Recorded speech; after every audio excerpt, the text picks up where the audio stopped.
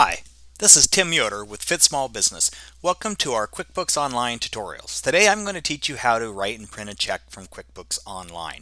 Uh, to find all of our QuickBooks Online tutorials, Google Fit Small Business QuickBooks Online tutorials. So before we get started today, I'd like to highlight there are three very related lessons um, for printing and writing checks. So today we're going to talk about how to print and write checks directly. This means that you haven't entered a bill yet from this vendor. So you receive a bill or you know you owe money, you simply write the check in a single step. That's what we're going to talk about today. The other way to manage bills is to first enter the bill when you receive it, including entering a due date that it's due, and then later, as the due date approaches, you'll write a check to pay the bill. So in that scenario, there's two steps. You're entering the bill and then you're paying the bill later. And so you can visit our tutorials on those two steps again by Googling Fit Small Business QuickBooks Online tutorials. But today, let's talk about how we do it when we just use one step. So we're not entering the bill, we're simply writing a check immediately um, when we receive the bill or we just know that we owe the money. Okay, so how do we write a check in QuickBooks? First, let's start our dashboard. If you don't already have a subscription to QuickBooks Online, there's a link below this video you can click and you can get 30 days free or 50% off for three months. So let's write a check by going to New and then Vendors and Check.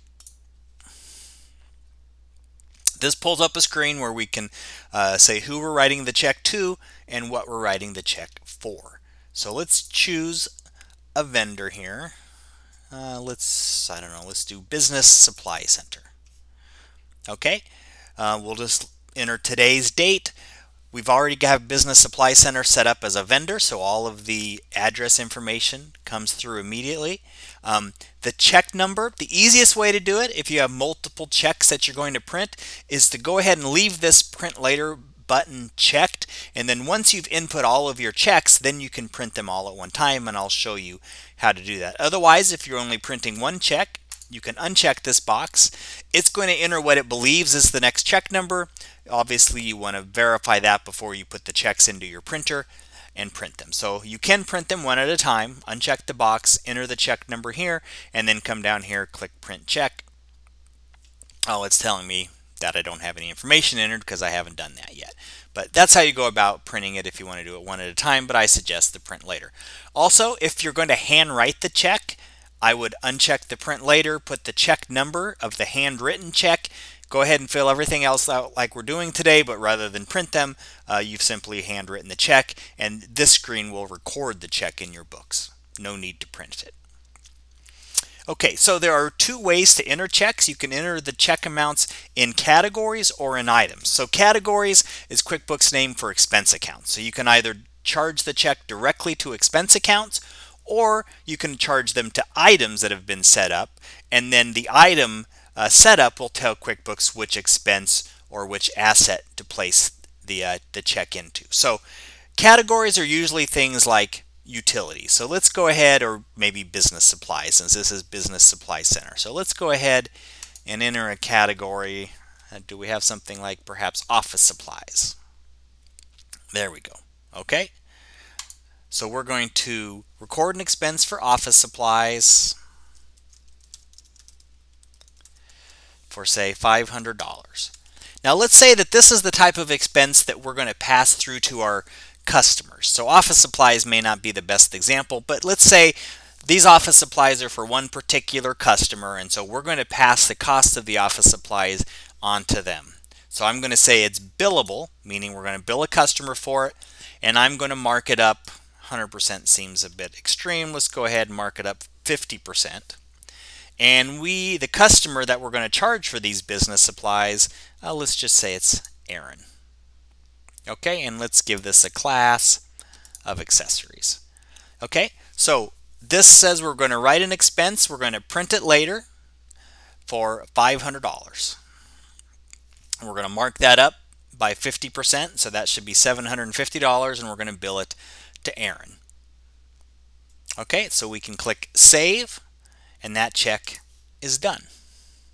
But we have to remember to go back and print it at some point. Okay, now just to show what we did when we entered that expense to be billed to Aaron, let's issue Aaron an invoice now. So we can go to Sales, Invoices, create an invoice. We're going to create an invoice to Aaron. And look here, there's our $750 billable expense. So next time we issue an invoice to Aaron, it is going to automatically show up um, so that we don't forget it. So we can click add, boom, there we go. There's our office supplies of $500 and there's our markup for $250. Customer does not see this split out. Um, they'll just be billed for $750. Very cool. Save and close. Okay, let's write another check. So we're going to go to new, check, and this time let's purchase inventory. So who will we purchase inventory from? Let's purchase inventory from our uh, Foster Lighting. Uh, looks like we have some purchase orders. Uh, let's not deal with that right now. Hall Lighting and Accessories. They have some purchase orders as well. That's okay.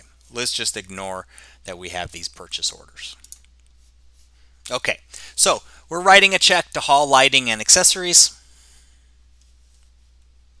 Um, instead of categories, we're going to enter these as items. So if you're whenever you're purchasing inventory, anything that you're keeping track of the quantity of, you need to use the item detail so that you can enter the quantity information. This allows QuickBooks to keep track of the amount of quantity you have on hand and the cost of what you have on hand versus the cost of what you've sold. So it's extremely important for proper inventory accounting that you always use the item detail whenever you purchase inventory as well as when you sell inventory. So let's give it some detail here. So hall lighting we are going to purchase um, some ceiling fixtures. Let's do brass pendants with ribbed glass. Okay, brings over the description. This comes from our item description that we've already set up for these ceiling fixtures. Uh, the default is just one. If you click on the quantity, this is really cool. QuickBooks will pull up right here uh, the quantity information it has. So right now we only have 79 of these in inventory. We've set a reorder point of 100. And so we need at least 21 just to get up to our reorder point. So let's we better order a bunch of these. So let's order about 50 of these. It's very handy that QuickBooks gives you that immediate information on how much you have on hand. So we're going to order 50 of this at $32 each. That's $1,600. Now this is going to go into our inventory, so we're not going to bill it to a client immediately. Now if this was something that was going to go immediately into a client's job, then we could bill it to the client. This is not. This is going to be sitting in our inventory. We're going to charge to clients as we take it out of inventory and sell it. Okay, so there is no customer or project. Better give it a class, ceiling fixture, we'll put that to ceiling mounts. Okay, for $1,600, we're going to print it later and save and close. Excellent. Now those that quantity should show up in your inventory. Okay, well now we've created two checks. How do we print them? Let's go to New.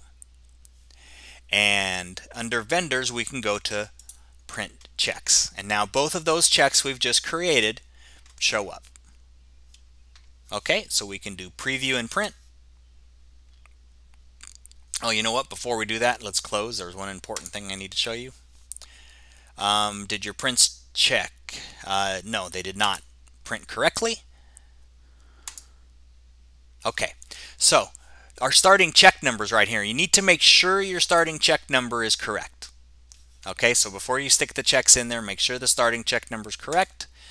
Choose the ones you want to print preview and print. And here we go. We're going to print these out onto our check stock. Okay. After you print it, it's going to ask you if your checks printed correctly. Say if they did, check them over, make sure they printed correctly. If they did, say yes. When you say yes, it'll take the checks out of the to be printed list so they don't show up next time. Um, if some checks printed, others didn't, you can click the box here and say uh, which checks you want to reprint starting at which check number. that will leave those checks in the to be printed queue. So perhaps the printer jammed or ran out of toner at a particular place. So you can specify starting at which check number do you want to reprint them so that those checks are not removed from the check printing queue. Um, or you can say, no, none of them printed, keep them, which is what I did a second ago, and that will leave them all in the print queue. So we're going to say, yes, they printed correctly, and it removed those two checks from our print queue. Okay, so that's how you print checks in QuickBooks Online. Remember, this is only if you're if you're writing the check immediately upon receiving the bill. If you've already entered the bill, then you want to write the check as a bill payment. And again, we do have a separate tutorial on that. Um, it's how to pay your bill. So you can find all these tutorials by Googling Fit Small Business QuickBooks Online Tutorials. I hope you found this useful, and I look forward to viewing another QuickBooks tutorial in the future. Thank you very much.